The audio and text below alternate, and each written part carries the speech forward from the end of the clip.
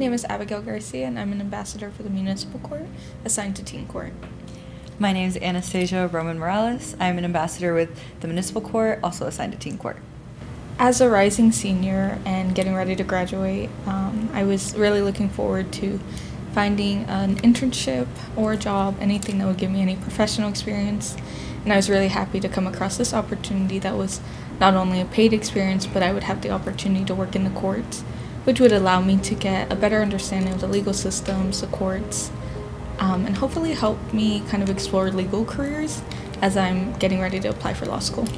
I want to study political science when I get into college, and I really just wanted to explore all of my options within that realm, and I just wanted to get some experience under my belt, like not just like face value experience, but actually something that was going to help me actually think about what I want to do with my future and stuff that was going to equip me for my future. I think for me, the biggest impact I had was just having the opportunity to not just network, but to also build connections. Um, my mentor is very involved in our our learning plan, and she coordinated lots of opportunities for us to meet with different departments and learn from them.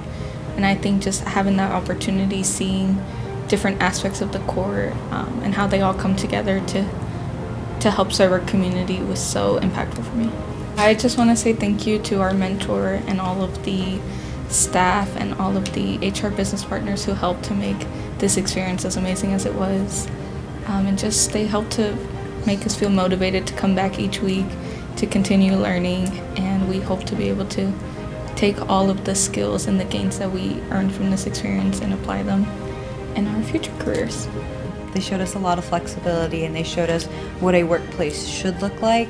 rather than how it is portrayed in movies or it being to this or to that. They showed us what structure with love and flexibility and care